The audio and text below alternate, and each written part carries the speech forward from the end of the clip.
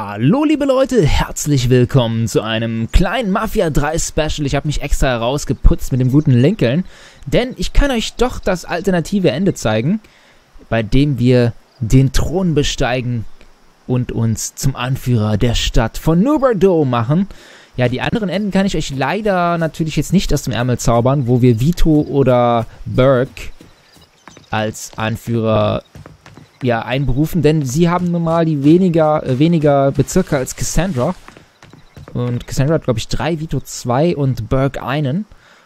Und ja, dafür müsste ich das ganze Spiel jetzt nochmal neu spielen, aber zumindest dieses Ende kann ich euch noch zeigen. Ich bin mal gespannt, was passiert, wenn wir jetzt den Thron selber für uns beanspruchen.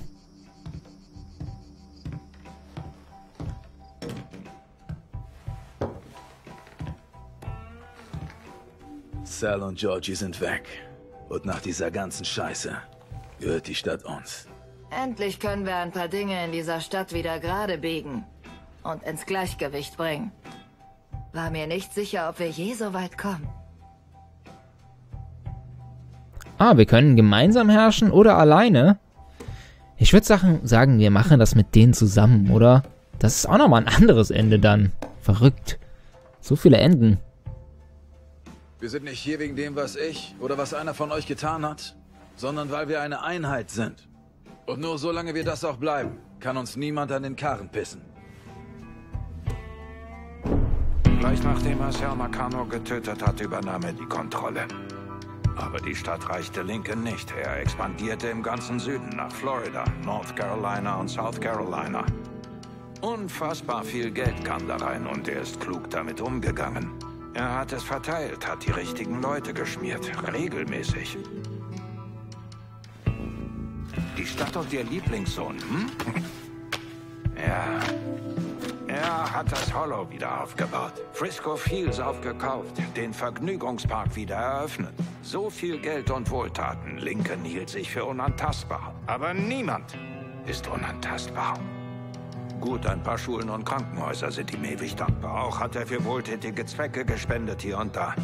Aber nichts spricht ihn los von seinen Verbrechen. Darum war ich für diese Dokumentation. Die Menschen sollen die Wahrheit über Lincoln Clay erfahren. Lincoln hatte seine Finger überall drin. Drogen, Schnaps, Prostitution, was auch immer. Alles, was Geld eingebracht hat, er musste dabei sein. Wenn er in den Morning News war, aufgeplustert wie ein Pfau. Manchmal denke ich mir, oh Lincoln, wärst du doch gleich mit Sammy und in einer gestorben.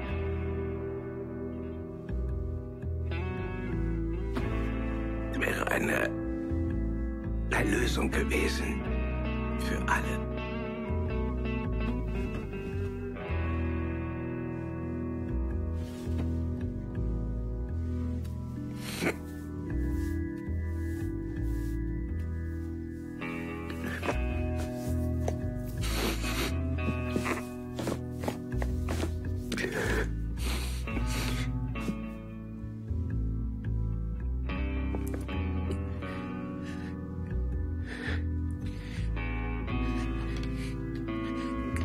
Ausschalten, Schluss jetzt.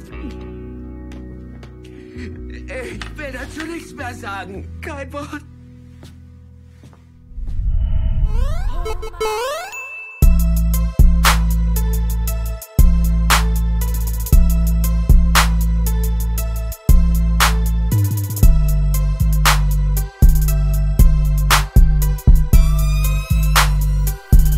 Headshot.